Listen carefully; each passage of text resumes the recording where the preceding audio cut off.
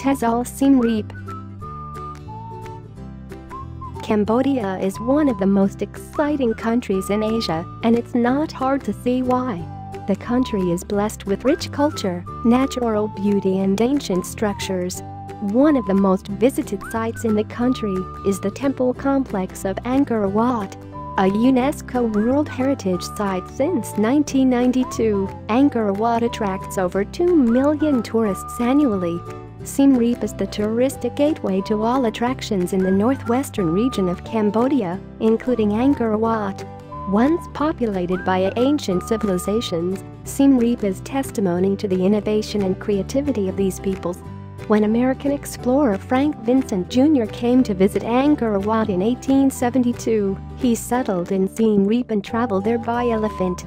Millions of tourists followed his lead and Siem Reap slowly turned into the tourist stronghold it is today. Modern visitors prefer to travel by moto or tuk-tuk to get around the area. Because of Siem Reap's popularity among tourists from all corners of the world, the city features countless comfortably hotels that offer all the amenities the tourists are used to from back home. Whether your budget is low or high, you will find a wide range of different types of accommodation in Siem Reap. Locals working in restaurants, bars and hotels welcome tourists and also speak English. Getting around Siem Reap and its beautiful surroundings is very easy and affordably.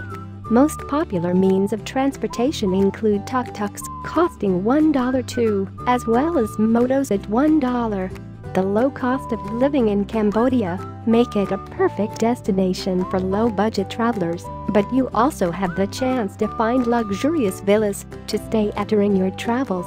Siem Reap is a place where modernity meets tradition.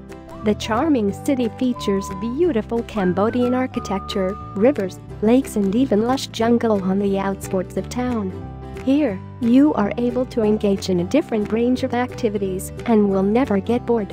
Join our TEFL TESOL course in Cambodia and you will explore a new country and unique culture in Southeast Asia while becoming its certified teacher.